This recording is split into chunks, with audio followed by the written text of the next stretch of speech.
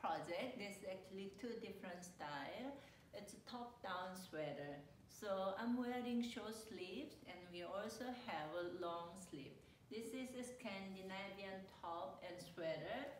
So when I think about Scandinavia country, they have this cute yoke pattern. So this is my interpretation of, of that uh, pattern. So this is very simple. I like it very simple.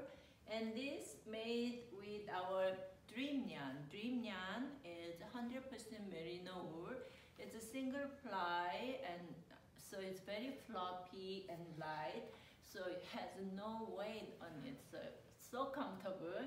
And you can make any combination will come out very, very cute.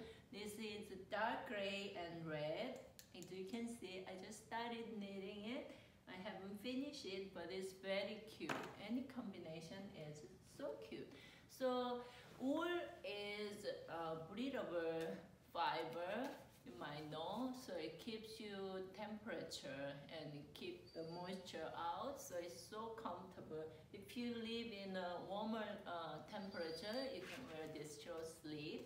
And also this long sleeve is great for fall, winter, it's great layering piece, and for spring too. So I'm gonna try on this for you. I'll be right back. This is long sleeves.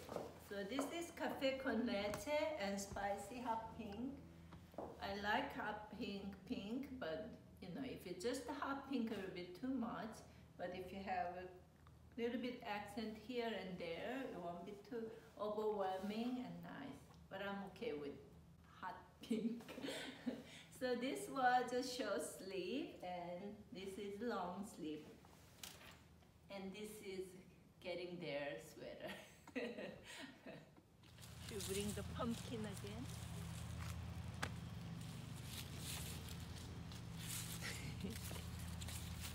Okay, pink, pink, pink, pink, pink, pink.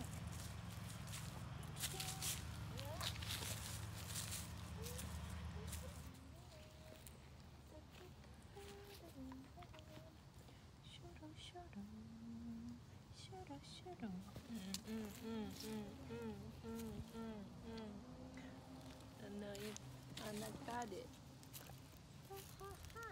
love you. I love you. I love Wolfie. Wolfie love what? Wolfie love what? What? What?